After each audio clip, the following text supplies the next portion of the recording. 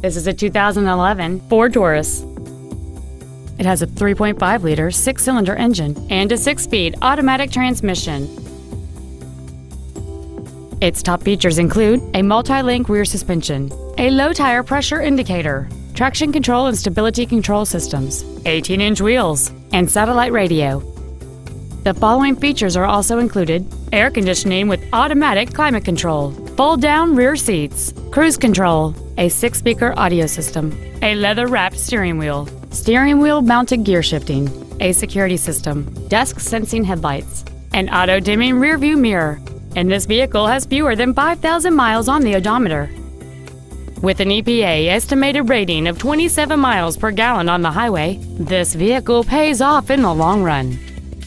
Please call us today for more information on this great vehicle.